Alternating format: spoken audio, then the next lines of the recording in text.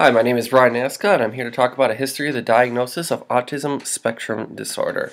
I wanted to do this presentation due to the recent changes we've seen uh, from the DSM-4TR to the DSM-5. As you can tell, a lot of changes have been made. A lot of things were taken out. A lot of uh, things were added to the new definition of autism spectrum disorder. So I want to go over a brief history of how it went from uh, to what it was classified in 1900s to uh, what it is now. So what autism is now is currently identified as a pervasive neurodevelopmental disorder defined by impairments within social communication and the presence of repetitive or restrictive behaviors and or interests. This can occur with accompanying intellectual impairments, um, and according to the CDC, uh, approximately 31% of individuals with ASD have an IQ below 70, indicating that a large percentage of individuals with ASD also have an intellectual impairment. However, in like around 2008, the number of individuals with ASD who also had a, uh, an IQ below 70 was around 80%. So as we can see, there's been a large shift towards identifying individuals with ASD who are considered high functioning. As you can see, the DSM-5 does a pretty good job of um, separating individuals into three different levels of severity that exist on a spectrum. These levels are based on the amount of support that the individual needs. So level 3 being the highest uh, level of support, while level 1 is requiring the least amount of support. The scientific community also um, tends to identify these individuals as being either low or high functioning depending on their level of IQ and their level of adaptive behavior or, or adaptive functioning. But typically, typically, these individuals with ASD struggle with uh, demands of everyday life and find it more difficult to achieve and maintain friendships, as well as reach higher levels of independence in adulthood. So as you can see, this is just a copy straight from the DSM-5, and what this is is uh, it's the level, it's the severity level between each one. Level one being the lowest amount of uh, support needed, and level three being the highest amount of support needed for things in the social communication domain and the rep restrictive repetitive behavior domain. And if, if you want more information on that, you can always just look at DSM-5. So now we're going to get into the history, where it all started, how it went from um, in how it was defined in the 1900s to how it's defined now. And Eugene Bleuler was the first one to um, kind of like look at individuals with um, these autistic traits. So he was looking at um, schizophrenic uh, patients, and he came he he came up with a subgroup that he that he called um, autism, he actually coined the term autism, and these individuals tended to be withdrawn, shut themselves off, and that he considered them self-absorbed, and any influence from the outside world was considered an intolerable uh, disturbance for these individuals. Now, as we know, um, uh, individuals with autism uh, don't have schizophrenia, but uh, he was the Eugene Bleuler was the first person to actually coin the term autism and actually uh, identify these individuals. And then we go on to Leo Kanner and Hans Asperger's in the 40s, who kind of picked up on the work of uh, Bleuler, but they thought they kind of separated um, these individuals with autism from individuals with schizophrenia. They were both born in Austria, and they both um, they both uh, identified a list of traits of for these individuals, and despite the, the two never actually encountering them, Kanner's work um, actually uh, get, obtained more popularity than Asperger's work did, mostly because Asperger's work was isolated to Europe. But they both re recognized a select group of individuals with autism who displayed a good level of intellect and communication skills. So they actually found a, a large majority of individuals that which we with which we consider to have high functioning autism. So as we can see, Kanner uh, identified a list of traits for 11 different children, and he suggested that these children had early infantile autism. And as you can see, the trait list here has a lot of uh, things that you know we commonly recognize with children with autism, such as impairments in social interaction, limitations in spontaneous activity, and also anguish for changes. But he also has a list of some more positive traits, such as good memory and good intellect. Hans Asperger uh, also also um, came up with a list of traits for these types of children, but he identified them as as being autistic psychopaths. The main difference between Asperger's work and Kanner's work was that Asperger did not mention echolalia in his description and Kanner did not mention clumsy movements, but their trait list is very similar, most having to do with social interaction and uh, communicating with um, individuals. Uh, so like Asperger said they had one, one-sided conversations, little ability to form relationships, and etc.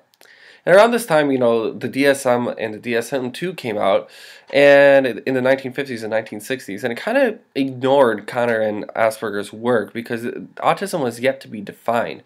The closest thing to actually defi- to um, to defining these individuals with these specific traits was under the diagnosis of schizophrenic reaction, uh, childhood type. So even in the 50s and 60s, it was still considered a subset of schizophrenia.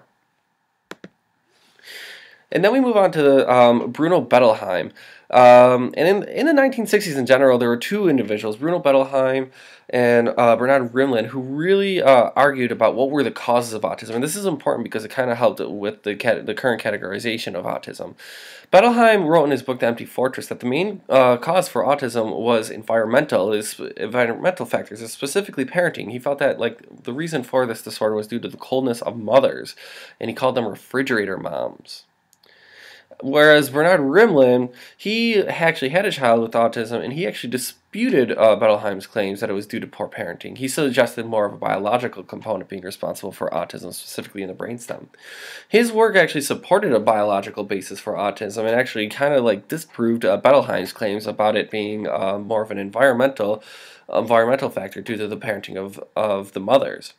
Rimland's biological research showed that uh, autism was different in comparison to other childhood disorders, therefore supporting um, biological reasons for why autism should have its own distinctive category. Then we move on to Lorna Wing and the current DSMs. So as we can see, the the DSM-3 came out in around 1980s, and it was the first one to actually um, have um, some to define autism. It had pervasive developmental disorder, childhood onset PDD, infantile autism, and atypical autism. And a lot of this work is due to, and a lot of this um, new definitions of autism is due to the work of Lorna Wing. Lorna Wing was a strong force behind this uh, new autism spectrum disorder. She actually helped translate Asperger's work, as I mentioned earlier, and helped it gain popularity within America in the 1980s. She argued that the de degrees of severity for an autistic individual's characteristics varied, and that there were some individuals with autism who had no cognitive delays, which led her to conclude that some were higher functioning. She said that it's almost impossible to have this categorical system for individuals with autism because of the varying degrees of impairment, and therefore it was pointless to have this categorical system. And as we can see, the DSM-3R came out. It still had these categories, but it included PDD-NOS. And PDD-NOS was pretty much like a catch-all diagnosis for individuals who didn't meet criteria for all the other um, pervasive developmental disorders. So it was kind of again, it was this catch-all to kind of like helping like uh, identify all these individuals with social impairments. And then in 1994, the DSM-4 came out, and under PDD, it had, again, PDD-NOS, autistic disorder, but it included actually Asperger's disorder, which is due to the work of Lorna Wing. And Asperger's disorder was pretty much like a way of saying high-functioning autism, because uh, it, it pretty much, Asperger's disorder was used to identify individuals with no language delay other than pragmatic skills who struggled with social skills and understanding social cues. And but again, this uh, DSM-4 still didn't have a wasn't on a spectrum. It still used categories to really identify individuals with social impairments. And then we see the DSM-4 uh, TR, which had a similar diagnosis with the DSM-4, but some revisions to, to PDD-NOS. It was, however, the first one to drop autism and, uh, and actually have autistic uh, spectrum disorder. So it's the first one to actually acknowledge that these symptoms happen on the spectrum. However, they still use the categories such as Asperger's disorder, PDD, NOS, and to identify individuals who don't meet uh, autism spectrum disorder. And they started to use uh, Kanner's triad of impairments, which, which include social difficulties, communication problems, and repetitive and restrictive activities to describe ASD's core features, which are social relatedness deficits, restrictive, repetitive, and stereotype behaviors, and communication deficits. And as we can see, there were some changes made in the uh, DSM-5, uh, which we currently see today. It mixed social relatedness with social interaction. But the biggest thing that DSM-5 was it's really the first one to encompass a spectrum disorder. It got rid of all the other uh, pervasive developmental disorders such as PDD, NOS, Asperger's disorder, Rett's disorder, and childhood disintegrative disorder, and has ASD under one neurodevelopmental disorder. And now that, as you know, as mentioned before, it included the levels of severity, which we didn't see before. However, Lorna Wing and other psychologists still have some problems with the DSM-5. Lorna Wing believes that it fails to include important components such as social imagination, diagnosis of autism in infancy and adulthood, and it's more efficient with identifying men uh, than with autism as opposed to women. They, uh, some also believe that it might fail to uh, identify individuals that were once identified as having PDD-NOS. However, recent research has kind of dismissed this point, saying that the DSM-5 has a good level of specific specificity in identifying individuals with autistic traits and symptoms, as well as sensitivity.